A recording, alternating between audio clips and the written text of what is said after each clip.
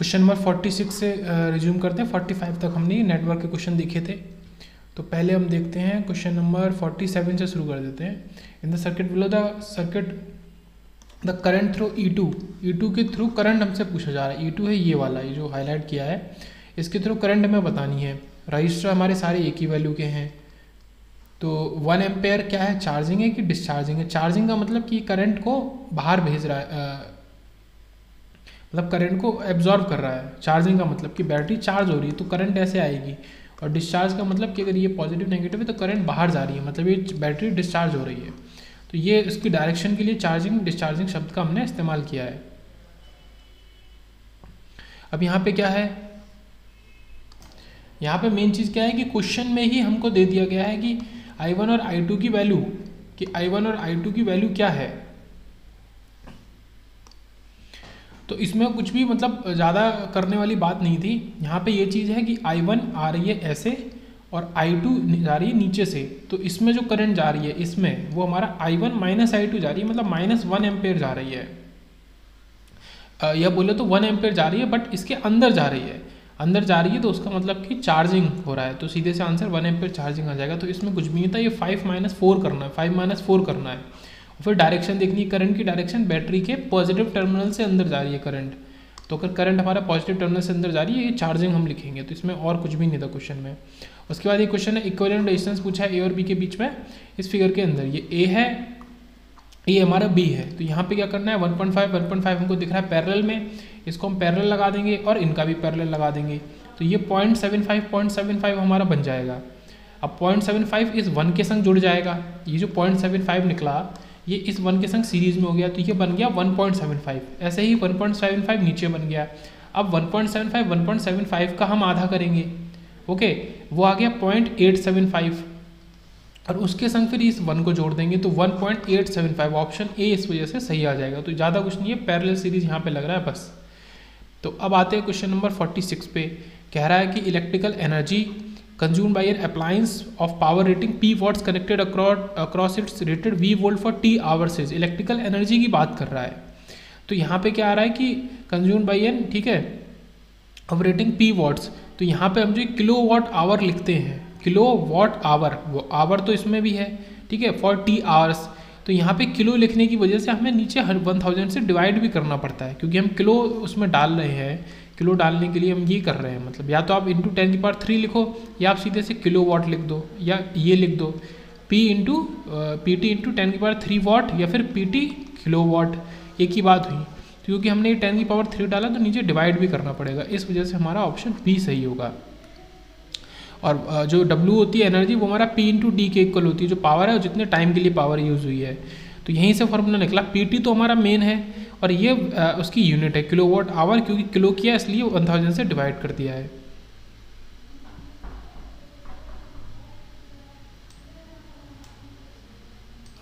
Next है forty nine तो यहाँ पे कह रहे हैं in the given circuit inductances L one and L two ठीक है? इफ़ ये पता करने है if L one is two L one मतलब एल वन एल टू के बीच में रिलेशन दिया है, और एल इक्विवेलेंट दिया है हमको पॉइंट सेवन तो एल इक्विवेलेंट टोटल दिया है एल वन एल टू के बीच में रिलेशन दिया है, वो हमको निकालना है। अब क्योंकि हमारे एल रजिस्टेंस की तरह ही काम करते हैं तो ये मान लो कि ये तीन रजिस्टेंस हैं, दो पैरेलल में है, एक सीरीज़ में है। तो उनका कैलकुलेशन करके हमें सॉल्व करना है मतलब एल वन एल टू को जब करेंगे तो L one L two upon L one plus L two और यहाँ पे आप क्या करो, ये जो रिलेशन है तो यहाँ पे L1 को 2L2 से रिप्लेस कर दो तो ये क्या बन जाएगा?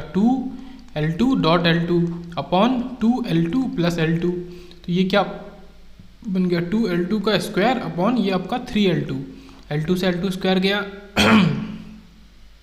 सो so आपका L इक्विवेलेंट क्या आ गया? Two by three L two यहाँ से अगर देखें तो आपका एल इक्विवेलेंट क्या आ गया? देखो ये यहाँ पे भी यही चीज़ आ रही है। इसी में दिखा देते हैं two L two by three ठीक है? Two by three L two या तो। अब ये एल इक्वलेंट की वैल्यू दी है तो यहाँ से आप एल टू निकालो। एल टू आ गया पॉइंट थ्री और इसी से आप एल वन निकाल लो, वो आ गया पॉइंट सिक्स ईजी था। क्वेश्चन ये आपने पॉइंट थ्री और पॉइंट सिक्स निकाल दिया। उसके बाद क्वेश्चन नंबर पहले देख लेते हैं fifty one find the power delivered absorbed by one twenty volt source तो ये जो वन ट्वेंटी वोल्ट सोर्स है पावर डिलीवर कर रहा है एब्जॉर्ब कर रहा है। इसकी जो करंट है, ये इसकी डायरेक्शन बताएगी। अगर इससे करंट जा रही है तो डिलीवर कर रहा है पावर को। करंट इसमें आ रही है तो एब्जॉर्व कर रहा है। यहाँ पे हम लगा देंगे। तो यहाँ पे सीधे से क्या कर सकते हैं? 120 वोल्ट और 30 वोल्ट की पोल्टी अपोजिट है तो एक दूसरे को क्लैश करके खत्म कर देंगे। तो ये हो जाएगा 120 twenty minus thirty is ninety volt और टोटल रेजिस्टेंस है 45 तो इससे करंट आ गई टू एम्पेयर अब टू एम्पेयर करंट आ गई तो ये पावर को डिलीवर कर रहा है, क्योंकि ये ज़्यादा बड़ा वोल्टेज सोर्स है 30 वोल्ट के कंपैरिजन में। तो करंट इससे बाहर निकल रही कितनी निकल रही है? टू एम्पेयर इसका वोल्टेज कितना? वन ट्वेंटी तो पावर कितनी होगी? वी इन टू आई मतलब two forty watt so two forty watt जो है, ये पावर हमारा डिलीवर कर रहा है। तो यहाँ पे केवल आंसर में ये भी नहीं था कि डिलीवर की एब्जॉर्बर केवल वैल्यू बतानी थी तो डिलीवर कर रहा है। उसके बाद क्वेश्चन ये आता है फिफ्टी ये अच्छा क्वेश्चन है कि in the circuit shown if we connect a source of two volt with the internal resistance of one ohm one ohm के संग हम एक टू वोल्ट का सोर्स अगर कर दें, जोड़ दें okay at A A dash is A A dash पे, इस पे with positive terminal at A A sorry A dash and then the current through R is फिर इस आर से कितनी करंट हमारी फ्लो होगी? तो हमको ये बताना है। उसके पहले क्या करना है? ये जो मैंने ग्रीन से किया है कि हमें इसका सोर्स ट्रांसफॉर्मेशन करना पड़ेगा सबसे पहले। इसका सोर्स ट्रांसफॉर्मेशन किया हमने ये। तो ये बन गया वन वोल्ट का वन वोल्ट और ये हो गया वन ओम इसके संग सीरीज़ में।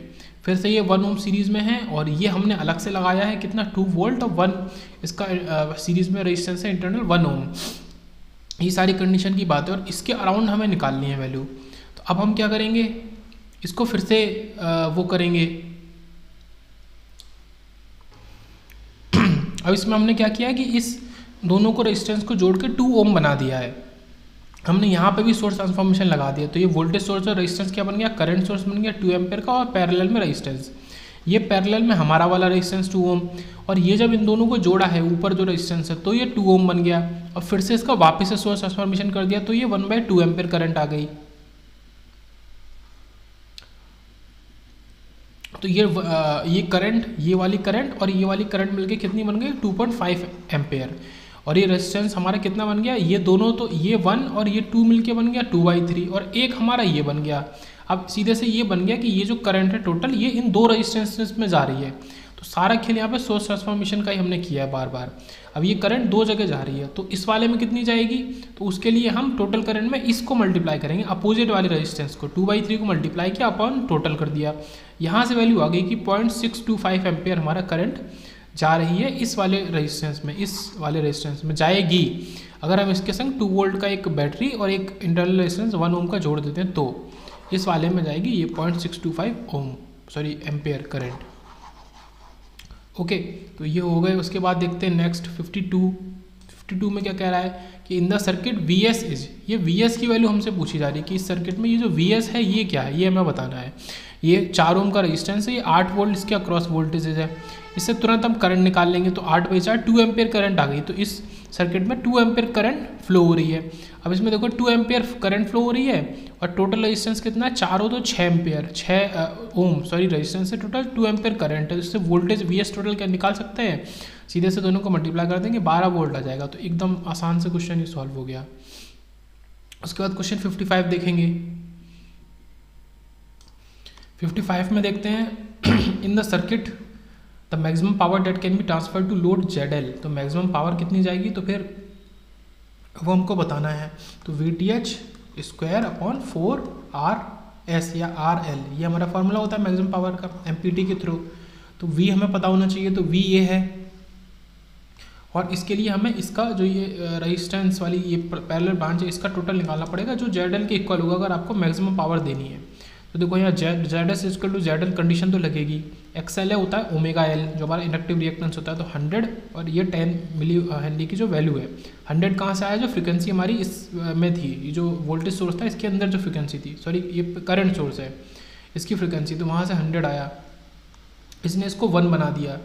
तो हमारा जो आ जाएगा जेड एस वो रूट ऑफ़ टेन स्क्वायर मतलब रजिस्टेंस का स्क्वायर प्लस इंडक्टिव रिएक्टेंस का स्क्वायर तो टेन पॉइंट ज़ीरो फोर आ गया। अब जो करंट सोर्स की वैल्यू उठानी है वो हमें। और पावर को हम वहाँ लगाते हैं V square upon four R करके। और यहाँ पे आई स्क्वायर आर ही हम लगाएँगे। तो ये आई स्क्वायर मतलब टेन रूट टू का स्क्वायर ये पूरी जो आर में वैल्यू है, इसको उठाएँगे। और यहाँ से ये जो हमने टेन पॉइंट ज़ीरो फोर निकाला इसको तो इसको जब सॉल्व करेंगे तो ये दो हज़ार वॉट हमको दे देगा मैक्सिमम पावर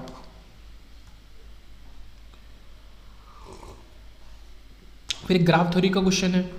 तो ग्राफ थ्योरी के क्वेश्चन में कह रहा है कि नेटवर्क के पास 10 नोड हैं 17 ब्रांच है। तो जो फार्मूला बताया था, b minus N plus one सीधे से वो फार्मूला लगाना है, सत्रह माइनस दस प्लस वन मतलब हमारा एट तो एट आ जाएगा। तो यहाँ पे नंबर ऑफ़ मैश इक्वेशन जो पूछ रहा है number of independent mesh equation required to solve the network is eight ये हो गया।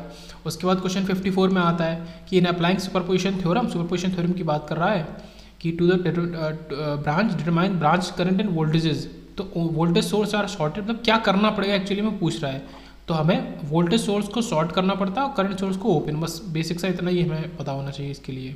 फिर कुछ क्वेश्चन फिफ्टी सिक्स पे आते हैं कि in the following figure the voltage across C one ये सी वन के अक्रॉस वोल्टेज हमको बताना है। विल बी तो ये जो वोल्टेज है, ये डिवाइड होगा दो उसमें। अब क्योंकि कैपेसिटेंस हमारा उल्टी तरीके से काम करता है तो जो रजिस्टेंस और इंडक्टेंस में करंट जैसे डिवाइड होती है, यहाँ पे कैपेसिटेंस में हमारा वोल्टेज वैसे डिवाइड होगा। मतलब कि जब हम लिखेंगे टोटल वोल्टेज ये 300 लिखा, इसमें अपोजिट वाला हम कैपेसिटेंस लिखेंगे। मतलब अगर C1 के थ्रू वोल्टेज निकालना है तो हमें इस अपोजिट वाले को लिखना पड़ेगा अपॉन टोटल तो two plus one three microfarad तो माइक्रोफेरेट से माइक्रोफेरेट कट गया, और ये थ्री से हंड्रेड ये टू हंड्रेड आ गया तो टू हंड्रेड वोल्ट हमारा होगा। तो उल्टे फ़ैशन में हमारा डिस्ट्रीब्यूट होता है मतलब ये जो थ्री हंड्रेड वोल्ट है, इसके अराउंड टू हंड्रेड हो जाएगा, इसके अराउंड वन हंड्रेड वोल्ट हो जाएगा डिस्ट्रीब्यूट बाकी पूरा एक्सप्लेनेशन है, सबकी कोई ज़रूरत नहीं है। उसके बाद नेक्स्ट चलते हैं फिफ्टी सेवन पे।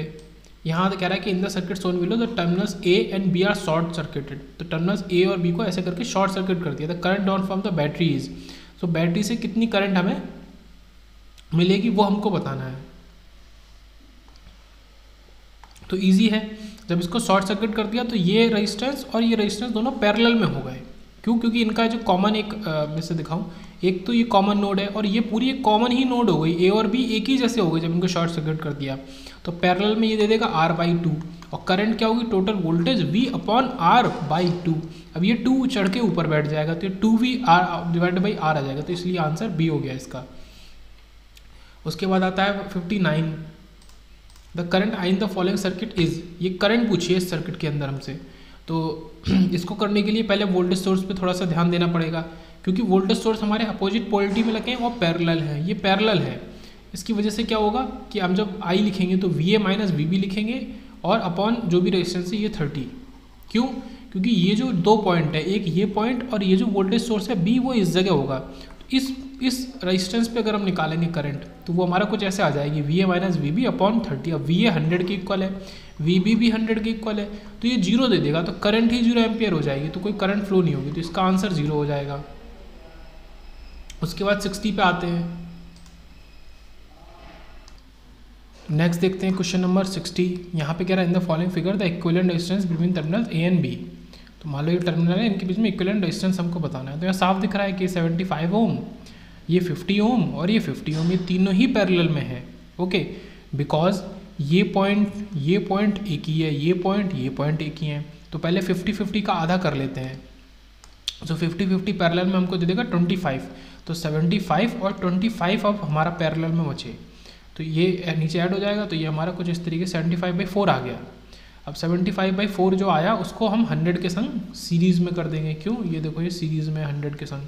तो seventy five by four plus hundred तो ये हमको seventy five plus four hundred upon four ये हो जाएगा। तो four seventy five upon four इसको सॉल्व कर लेंगे तो यही आ जाएगा one hundred eighteen point seven five करके, ये वैल्यू हो गई ये वैल्यू आ जाएगी।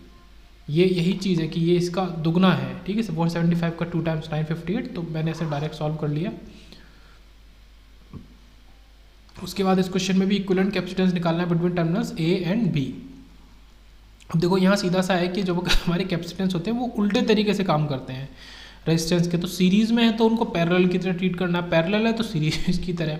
तो सी और सी जो सीरीज़ में है, वो पैरेलल की तरह हो जाएँगे तो वो हमको दे देंगे सी बाई टू।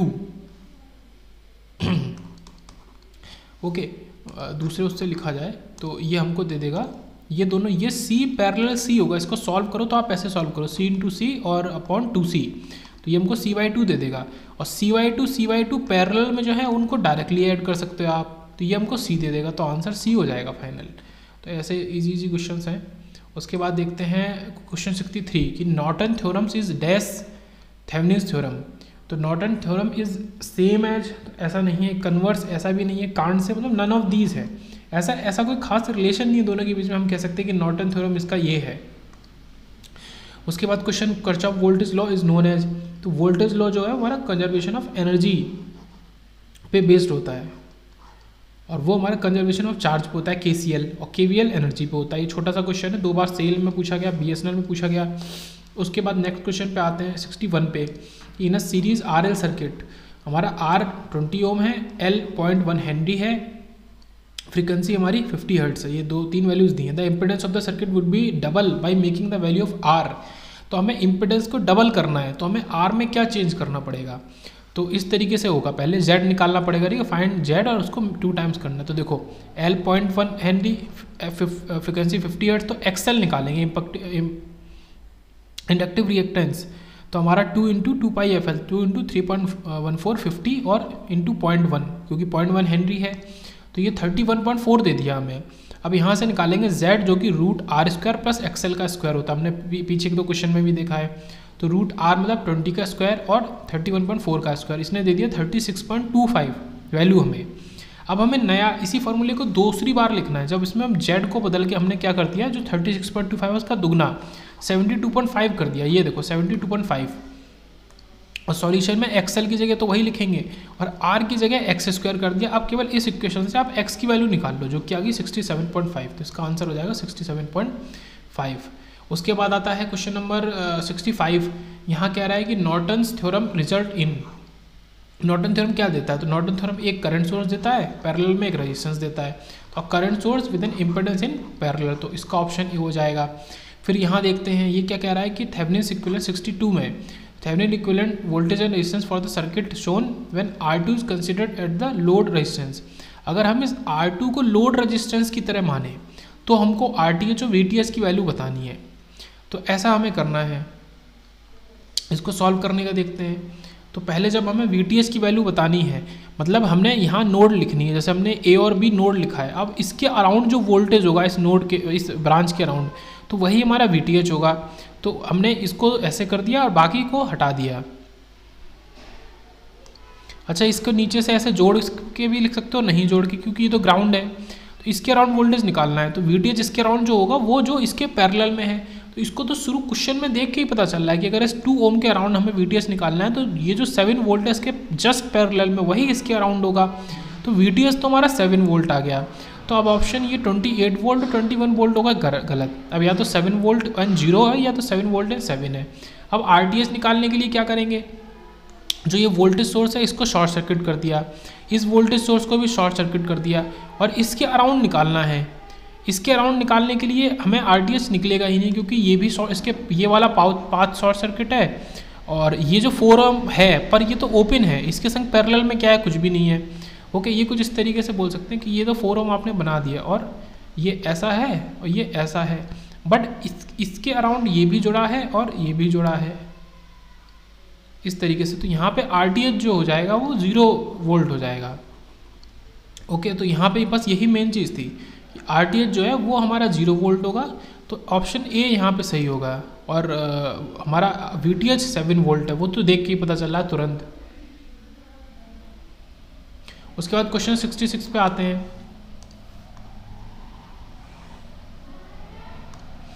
कि a network which contains one or more than one source of EMF तो जो एक या एक से ज़्यादा सोर्स ऑफ़ ईएमएफ रखते हैं तो वो सारे एक्टिव नेटवर्क होते हैं, जो एनर्जी दे सकते हैं।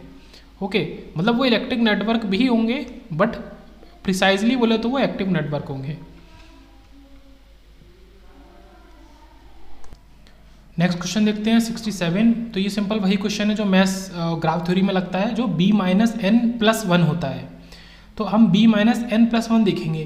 तो कोई यहाँ कहीं भी b minus N plus one नहीं है बट क्योंकि ये n माइनस वन ब्रैकेट में तो इसको जो ओपन करेंगे तो ये b माइनस वन और वन हमारा जो है प्लस का हो जाएगा। B minus N plus one तो इस वजह से हमारा ऑप्शन सी सही है। तो जब हमें निकालना होता है number of equation to be solve किसी भी मैथ एनालिसिस में ग्राफ थ्योरी के अकॉर्डिंग तो बी होनी चाहिए नंबर ऑफ़ ब्रांचेस एन होना चाहिए नंबर ऑफ़ नोड तो ये फार्मूला बहुत इंपॉर्टेंट है। ये डायरेक्टली यहाँ फार्मूला पूछा है, इसके रिलेटेड क्वेश्चन भी पूछ चुका है। फिर आता है सेवेंटी वन हाँ कि the circuit whose properties are same in the either direction तो वो कैसे? बायोलेटरल सर्किट होते हैं। आप करंट इधर से भेजो, चाहे उधर से भेजो, दोनों जा सकती हैं। जैसे कि हमारा रजिस्टर और यूनिलेटर सर्किट कौन से होते हैं? जैसे डायोड डायोड का स्पेसिफिक है कि आप किस पोलिटी से मतलब पी साइड से भेज रहे हो करंट को एन साइड से तो वो फॉरवर्ड या रिवर्स वाइज हो जाएगा। तो केवल एक ही साइड से वो करंट को आगे भेज सकता है तो वो यूनिलेटरल हमारा होता है डायोड उसके बाद आता है क्वेश्चन नंबर सेवेंटी टू कि at half power frequency power down in the circuit is तो हाफ़ पावर फ्रिक्वेंसी पे जो पावर डाउन भी होगी, वो भी हाफ़ ही होगी। तो आई स्क्वायर आर तुम्हारा नॉर्मल फॉर्मूला उसमें वन बाई टू और हो जाएगा। तो ये छोटा सा क्वेश्चन था हाफ़ पावर फ्रिक्वेंसी का तो ये याद रखेंगे। ओके उसके बाद आता है sixty eight according to the maximum power transfer theorem maximum power will be transfer from the source to the load when सीधा सा क्वेश्चन है कि जब source impedance is complex conjugate होगा लोड इंपिडेंस के, या इक्वल होगा तो जेड हमारा इक्वल टू जेड एस और कॉम्प्लेक्स कॉन्जुगेट ये कब की बात होती है? ए सी जब हम पढ़ते हैं ए सी सर्किट्स पढ़ते हैं तो। और normally Z S Z L equal to Z S होता है। बट यहाँ पे इंपॉर्टेंट यही था कि दिल्ली मेट्रो का क्वेश्चन था बी एस एन एल का, कि यहाँ पे कॉम्प्लेक्स कॉन्जुगेट शब्द आएगा। इक्वल तो होगा बट डायरेक्टली इक्वल नहीं कॉम्प्लेक्स कॉन्जुगेट के इक्वल होगा। ओके ये जेड एस इक्वल टू ये। फिर बात करते हैं सेवेंटी थ्री की। क्वेश्चन नंबर सेवेंटी थ्री देखते हैं। यहाँ पे बात हो रही है कि under the condition of maximum power transfer a voltage source delivers a power of 50 watt तो एम की कंडीशन लग रही है। The power generate by the source will be ये क्वेश्चन बहुत इंपॉर्टेंट है। ठीक है, यहाँ पे इस तरीके का क्वेश्चन पहले नहीं देखा, नोएडा मेट्रो में पूछा था कि under the condition of maximum power transfer ये वोल्टेज सोर्स 50 वॉट का पावर लोड को ट्रांसफ़र कर रहा है तो power generated by the source तो सोर्स कितना जनरेट कर रहा होगा? वो डिलीवर 50 वॉट कर रहा है और जनरेट कितना कर रहा होगा? तो यहाँ पे जो बहुत मतलब बहुत ही ज़्यादा इंपॉर्टेंट ये क्वेश्चन है कि जो एफिशिएंसी की बात आती है कि अगर आप एमपीटी भी लगाते हो और मैक्सिमम पावर ट्रांसफ़र करते हो, तब भी आपकी एफिशिएंसी 50 परसेंट ही होती है। तो मतलब मैक्सिमम एफिशिएंसी ही 50 परसेंट हो सकती है। तो 50 परसेंट हो सकती है मतलब कि अगर वो 100 वॉट जनरेट कर रहा होगा तो उसका आधा वो डिलीवर कर पा रहा है। इस फार्मूले से हमारा ये 100 वॉट आ जाएगा 50 का दुगना। फिफ्टी की जगह कुछ भी वैल्यू हो सकती है। मान लो, कहते हैं कि ढाई वाट वो लोड को देता है, और जनरेट कितना करता है तो वो पाँच सौ वाट जनरेट कर रहा होगा।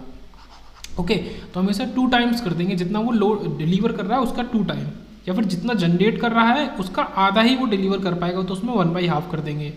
इस तरीके से हो गया। उसके बाद आता है पैसिव नेटवर्क कंटेन तो पैसिव नेटवर्क के पास में कोई भी सोर्स ऑफ़ ईएमएफ नहीं होगा। तो एक, दो, तीन वाले ऑप्शन तो बिल्कुल ही गलत हो गए। मतलब कोई होगा ही नहीं सोर्स ऑफ़ ईएमएफ फिर बात करेंगे Kirchhoff law is applicable to Kirchhoff के लॉ कब एप्लीकेबल है? क्वेश्चन दो, एक, दो बार आ चुका है। तो इसमें कंडीशन है कि बोथ ए और डीसी के लिए। तो के सी हमारा दोनों पे ही लग सकता है। इसमें कोई डीसीएसी वाली बात नहीं है पैसे वैक्टिव ऐसा कुछ नहीं है, दोनों पे लग सकता है। तो ये चीज़ हो गई। ये ज़्यादा बेटर ऑप्शन है। एक्टिव नेटवर्क में भी लग सकता है तो ये भी सही है बट वो ज़्यादा बेटर ऑप्शन है। यहाँ पे क्वेश्चन थोड़ा सा अलग है। If B is the number of branches in network containing sources and resistance and A is the number of nodes present in the network then the number of equation to be solve using nodal analysis कितनी चाहिए होंगी? तो यहाँ पे हमें जो बात करी गई कि नोडल एनालिसिस सॉल्व करने के लिए हम कितनी चाहिए, हमें केवल एन माइनस वन ही चाहिए इक्वेशन यहाँ पे। या बात करी जाए तो ए माइनस वन ही चाहिए इस क्वेश्चन के अकॉर्डिंग ए माइनस वन मतलब node number of node minus one अगर हम के की बात करें या नोडल एनालिसिस की बात करें तो नोडल अगर वहाँ वहाँ पे क्या पूछते हैं? Number of independent mesh equations जब हम लगाते हैं N minus B plus one जब हम ये फॉर्मूला लगाते हैं sorry B minus N plus one होता है वो। B minus N plus one होता है। तो जब नंबर ऑफ़ इंडिपेंडेंट हम किसकी बात करते हैं? मैश इक्वेशंस की बात करते हैं। मैश इक्वेशंस यहाँ पे हमने किसकी बात करी है? यहाँ पे हम बात कर रहे हैं नोडल इक्वेशंस की। ठीक है, ये ये डिफरेंस समझेंगे। वहाँ पे फ्री हो जाता है B minus N plus one यहाँ पे एन माइनस वन ओनली रहता है। आपका बी का कोई इंटरफेरेंस नहीं no branch number of branch से कोई मतलब नहीं यहाँ पे। ओके नोड से मतलब है। तो नोड माइनस वन तो यहाँ पे क्योंकि ए दिया है तो इस क्वेश्चन में आंसर में ए माइनस वन हम कर देंगे। तो यहाँ सेवेंटी फोर का आंसर केवल ए माइनस वन होगा। उसके बाद सेवेंटी फाइव पे आते हैं कि Thevenin and Norton circuits are single frequency equivalent circuit तो इनके अंदर ये इंपॉर्टेंट बात समझने की आई में क्वेश्चन पूछा था। रिपीट हो सकता है शॉर्ट क्वेश्चन है, इन एग्ज़ाम्स में पूछा जा सकता है छोटे मोटे एग्ज़ाम्स में, कि सिंगल फ्रिक्वेंसी इक्वलेंट सर्किट्स होते हैं हमारे। मल्टी फ्रिक्वेंसी नहीं होंगे इक्वलेंट इंडिपेंडेंट ऑफ़ फ्रिक्वेंसी होंगे, ऐसा भी नहीं है। और बैंड फ्रिक्वेंसी होगी तो ऐसा भी नहीं होगा क्योंकि अगर इंडिपेंडेंट कर देंगे तो वो तो केवल डीसी के लिए बोल सकते हैं। बट हमारा दोनों पे लग सकता है। तो इस वजह से सिंगल फ्रिक्वेंसी इक्वलेंट सर्किट्स होंगे हमारे थेवनिन और नॉट नॉर्टन उसके बाद आते हैं क्वेश्चन नंबर सेवेंटी एट पे। यहाँ पे क्या कह रहा है? सीरीज़ रेजोनेंट सर्किट्स के पास आर इतना है एल इतना है और सी इतना है। एक सीरीज़ रेजोनेंट सर्किट है मतलब एल आर सी उसमें तीनों मौजूद है। सीरीज़ में। The value of quality factor is quality factor हमसे पूछ रहा है तो क्वालिटी फैक्टर की वैल्यू हमको पता होनी चाहिए तो क्वालिटी फैक्टर हमारा हो गया one by R root L by C ये फॉर्मूला बहुत इंपॉर्टेंट है क्वालिटी फैक्टर का ये फॉर्मूला हम याद करेंगे। तो one by R root L by C होता है। तो हमारा क्वालिटी फैक्टर जब हम वन बाई आर आर की जगह टू लगा दिया हमने, और ये हमने इनकी जो एल और सी की वैल्यू है, ये लगा दी तो ये सॉल्व होकर आ गया फिफ्टी तो फिफ्टी हमारा क्वालिटी फैक्टर की वैल्यू होगी। तो क्वालिटी फैक्टर हमारा क्या हो गया? One by R root L by C is one by R root L upon C quality factor उसके बाद देखते हैं सेवेंटी सिक्स नेक्स्ट देखते हैं seventy six which one of the following is true कौन सा स्टेटमेंट ट्रू है? हमसे ये पूछा जा रहा है। तो Thevenin reduction can be use only if there are no current source तो ऐसा नहीं है थेवनिन तो हम करंट सोर्स के संग भी लगा सकते हैं। In AC circuits K C L holds only for average current and not for instantaneous current तो ऐसा नहीं कि के सी एल वहाँ नहीं लगी सब गलत है। Capacitors are generally less lossy than inductor तो ऐसा भी नहीं है। इन लीनियर मतलब एक नॉर्मल केस में ऐसा नहीं है। Linear linear networks can have dependent sources तो ऐसा है लीनियर नेटवर्क के पास भी डिपेंडेंट सोर्सेज हो सकते हैं। या फिर नेटवर्क के अंदर डिपेंडेंट सोर्सेज हो सकते हैं। तो ये हमारा सही होगा, केवल और केवल। उसके बाद बात करते हैं इस क्वेश्चन की। And equivalent single current source between A and B ठीक है ए और बी के बीच में इक्वलेंट सिंगल करंट सोर्स की बात कर रहे हैं। ये बी है, ये ए है, इनके बीच में। विल बी तो वो हमको बताना है। तो ये एक अलग हमारा करंट सोर्स है वन एम्पेयर का, और ये जो पूरा जितना भी हमारा ये बना हुआ है, ये, इसको हटा के केवल एक करंट सोर्स की बात हो रही है। तो देखो, पहले हम क्या निकालेंगे? आरटीएस निकालेंगे। उसके लिए आर सर्किट का आर ज्ञान करने के लिए बाकी सबको हम उनके इंटरनल डिपेंडेंसेस से रिप्लेस कर देंगे। मतलब सारे करंट सोर्स को ओपन सर्किट और वोल्टेज को शॉर्ट सर्किट देखो, ये ओपन हो गया, ये ओपन हो गया, ये क्लोज ये क्लोज इस तरीके से। तो ए और बी के अराउंड में हमारा आर की वैल्यू कितनी दे देगा? हमारा दोनों टेन और टेन पैरल में है तो दे देगा फाइव ओम तो वो फाइव ओम दे दे रहा है। तो ऑप्शन में देखो फाइव ओम आ गया। तो क्वेश्चन नंबर इसका सेवेंटी नाइन का बी या तो सही होगा या तो फिर ये सही होगा। अभी करंट हमने नहीं निकाली है। इक्विलेंट रजिस्टर्स निकाला है फ़िलहाल फाइव ओम तो फाइव ओम आ गया। अब फिर से क्वेश्चन में देखते हैं। अब यहाँ पे क्योंकि वोल्टेज सोर्स कितना लगा हुआ है हमारा? अब उसके बाद दूसरी चीज़ देखते हैं। ये जो करंट है, हमें ये बताना है ए और बी के बीच में हमारा कितना जाएगा? ओके ए और बी के बीच में कितनी करंट जा रही है? तो एक एम्पेयर तो यहाँ से जा रही है तो वो इसमें जाएगी और एक करंट यहाँ से आएगी। अब इस ब्रांच को देखते हैं, ये जो पूरी ब्रांच है, ये वाली, इसमें फाइव वोल्ट है और टेन वोल्ट उसके अपोजिट में है तो कितना आ गया? फाइव वोल्ट आ गया हमारा वोल्टेज और फाइव वोल्ट आ गया और ये जो दो रजिस्टेंसेज हैं, ये दोनों पैरेलल में हैं तो ये कितने बना देंगे? Five ohm. तो यहाँ पे भी क्या है कि जो उसमें जो दूसरी करंट जा रही है, ये वाली, ये भी वन एम्पेयर ही जाएगी। तो one plus one ampere two ampere बन गई। इसकी वजह से क्या है कि टू एम्पेयर फाइव ओम हमारा आंसर आ गया कि इसके बीच में अगर देखेंगे तो आर इक्वलेंट तो आर ए बी हमारा आएगा फाइव ओम और इसी वाली ब्रांच में कितनी करंट फ्लो होगी तो वो एक एम्पेयर इधर से आएगी और एक एम्पेयर इधर से आएगी दोनों तरफ़ से तो वो टू एम्पेयर फ्लो हो जाएगी। उसके बाद देखते हैं सेवेंटी सेवन कि as per Thevenin theorem if internal volt impedances are not known voltage independent voltage and current sources will be. अगर इंटरनल इंपेंडेंसेज हमें नहीं पता है, तब हम क्या करेंगे? तो यहाँ पे कुछ भी नहीं था सिंपल सा था कि वोल्टेज सोर्स को हम किससे रिप्लेस करेंगे? शॉर्ट सर्किट से। और करंट सोर्स को किससे रिप्लेस करेंगे? ओपन सर्किट से रेस्पेक्टिवली बस इतना ही यहाँ पे था। और एट्टी uh, टू देखते हैं कि a linear element satisfies the property या प्रॉपर्टीज़ ऑफ़ एक लीनियर एलिमेंट जो होता है तो वो दोनों सुपरपोजिशन और होमोजिनिटी दोनों की प्रॉपर्टी को वो सेटिस्फाई करता है। ये हमेशा पेयर में चलते हैं सुपरपोजिशन और होमोजिनिटी उसके बाद देखते हैं क्वेश्चन नंबर 83 पे the Thevenin equivalent RTH for the circuit तो इस सर ये वी ए बी है इसके इक्विवेलेंट हमें आरटीएच बताना है। तो यहाँ पे प्रॉब्लम क्या है कि हम इसको ओपन सर्किट नहीं कर सकते क्योंकि ये जो करंट सोर्स है, ये डिपेंडेंट करंट सोर्सेज है इंडिपेंडेंट नहीं है। इसको हमें इंक्लूड करके करना पड़ेगा। तो इसको इंक्लूड करके करना पड़ेगा तो फिर हम क्या तरीका ज्यूम करते हैं? जैसा हमने एक पीछे क्वेश्चन में भी किया था, जब हमने नॉर्टन लगाया था, कि जिस ब्रांच में हमें निकालना है, उस ब्रांच में एक हमने करंट सोर्स अज्यूम कर लिया एक एम्पेयर का। यहाँ पे हम एक वोल्टेज सोर्स अज्यूम कर लेंगे, इस ब्रांच में एक एम्पेयर का। सॉरी एक वोल्ट का। इसमें वोल्टेज सोर्स हमने अज्यूम कर लिया। अगर इस ब्रांच में हम करंट निकाल लें, कितनी करंट जा रही है तो हम उस करंट और वोल्टेज से इस ब्रांच के अराउंड इक्वलेंट हम रजिस्टेंस निकाल सकते हैं, जो कि वी बाई आई है। तो इसमें देखो के लगा दी, इस इस वाले लूप में के लगा दी। तो ये आ गया टू इंटू हमारा आई माइनस टू वी देखो ये ये ये जो करंट है, इधर टू वी चली जा रही है और इधर से हमने अज्यूम किया कि आई करंट निकल रही है।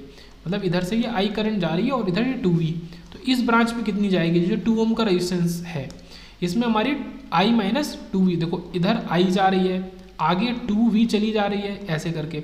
और इधर बीच में फिर कितनी जाएगी? ये इस तरीके से बीच में कितनी जाएगी? आई इधर आई जा रही है आई माइनस टू वी वो इस टू ओम में जा रही है तो I minus two V into two और माइनस वी तो एक्चुअल में जो हमने केवीएल लगाया, वो के कहाँ लगाया है? वो के हमने इसमें लगाया है।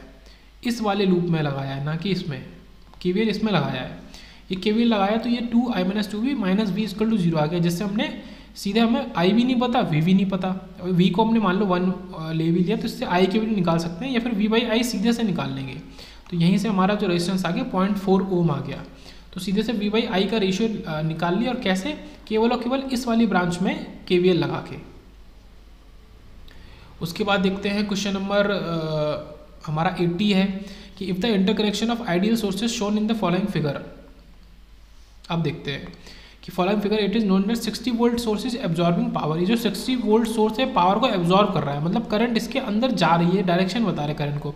Which of the following can be the value of current in source I value of the current source I ये जो करंट सोर्स है, इसकी वैल्यू कितनी होगी? वो हमको बताना है। तो यहाँ पे क्या हो रहा है? यहाँ पे ये यह हो रहा है कि इधर से कुछ करंट आ रही है। वो करंट इसमें ये एब्जॉर्व कर रहा है और इसमें जा रही है। मतलब इधर से कितनी करंट आ रही है? ट्वेल्व एम्पेयर ओके और इसमें कितनी करंट जा रही है? आई तो इसमें कितनी करंट जाएगी? ट्वेल्व माइनस आई तो ये चीज़ है, हमें आई बताना है। तो देखो, इसको हमने आई वन ले लिया ट्वेल्व माइनस आई को आई वन ले लिया। तो यहाँ से क्या निकला? I is twelve minus I one I का मान इससे क्या हो जाएगा? हमारा ट्वेल्व से कम हो जाएगा। तो यहाँ पे सॉल्व करने का और कोई तरीका नहीं है। फिर से बात करते हैं। थोड़ा सा इसको लेके कि इधर तो करंट है बारह एम्पेयर जैसे इधर मैं ड्रॉ करूँ, ये करंट है बारह एम्पेयर इधर जो करंट जा रही है उसको मैंने कुछ आई वन मान लिया और इधर जो करंट जा रही है उसको आई मान लिया। ये चीज़ है। अब सीधे से देखो कि हमारा सीधा सा सिंपल कि आई प्लस आई वन जो होगा, वो ट्वेल्व के इक्वल होगा। अब अगर आई और आई वन का सम ट्वेल्व के इक्वल हो गया तो सीधी सी बात है कि जो हमारी इन दोनों में कोई भी करंट बोल लो, या तो आई पूछ लो या आई वन, दोनों ही ट्वेल्व से कम वैल्यू के होंगे, केवल एक ऑप्शन में ट्वेल्व से कम वैल्यू है टेन एम्पेयर तो बाकी तीनों ऑप्शन इस वजह से हमारे गलत हो गए। तो ये ये क्वेश्चन इस पर बेस्ड है। उसके बाद बात करते हैं क्वेश्चन नंबर एट्टी फोर की पहले। The current ratio I two upon I one हमको आई टू अपन आई बताना है। मतलब ये आई टू और ये आई बताना है। और ये दोनों हमारे इंडक्टेंसेज हैं। तो देखो हम क्या करते हैं आई टू की वैल्यू निकालना चाहते हैं। देखो आई टू कैसे निकालेंगे? करंट डिवीज़न रूल अपोजिट लगता है। पहले टोटल करंट लिखो।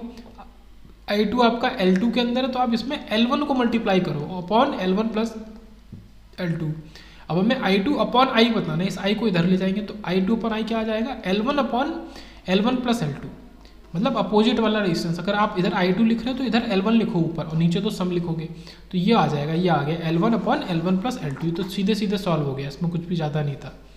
और इसमें एट्टी फोर तक ही रखेंगे एट्टी वन और देख लेते हैं। The impedance of a series L circuit पूछ रहा है कि इम्पिडेंस बताना है सीरीज़ एलसीआर सर्किट का।